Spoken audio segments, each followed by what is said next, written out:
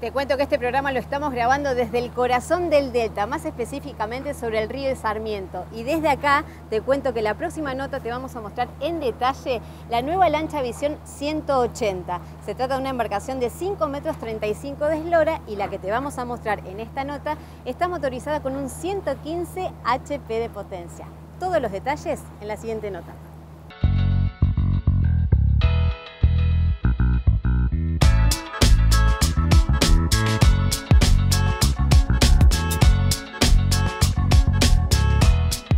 Luego de todo lo visto y hablado, pasamos a los comentarios finales acerca de esta renovada visión 180 que hoy presentamos en Esloras. Y lo hacemos como siempre enumerando sus características principales. Esta embarcación tiene una eslora de 5 metros con 35 y su manga es de 2 metros con 14 centímetros. Su puntal es de 1 metro con 5 centímetros y la potencia admitida va desde los 75 hasta los 150 HP. Su tanque de combustible es de 105 litros y su habilitación es para 8 personas.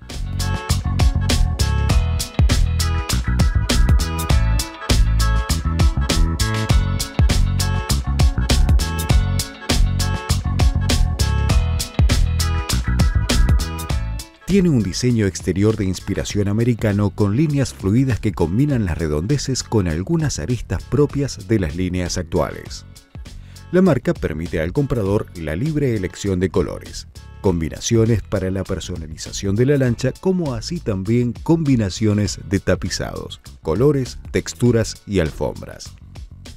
El interior posee un generoso volumen y tiene la posibilidad de configurarse con back-to-back, butacas o la combinación de ambos asientos como en el caso de esta unidad que estamos presentando hoy en el programa. El puesto de mando es cómodo, con buena posición de los mandos y una visibilidad y protección excepcionales dadas las dimensiones del parabrisas que además se integra muy bien al conjunto. Ambas versiones de la Visión 180, hace pocas semanas presentamos la Freedom con consola central, están desarrolladas sobre un probado y eficiente casco que le permite una excelente navegación.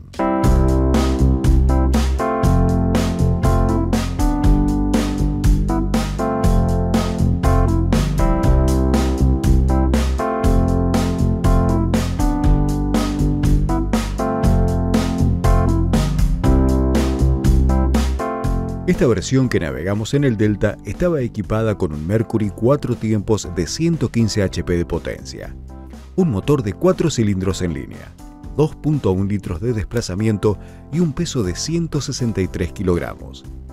Tiene una hélice de aluminio de paso 17 pulgadas. Vamos a ver algunos de los datos obtenidos con el GPS durante la prueba.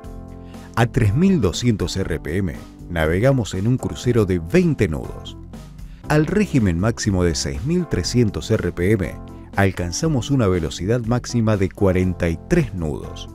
El consumo estimado de esta unidad a potencia constante de crucero es de 12 litros hora.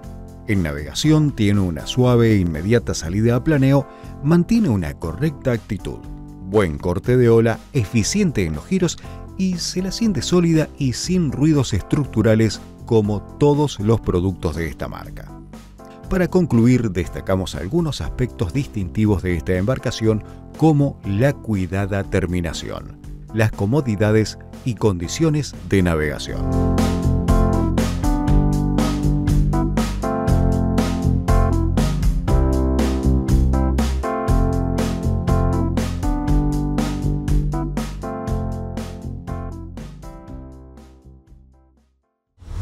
comunidadnáutica.com Sumate, sé parte de este mundo.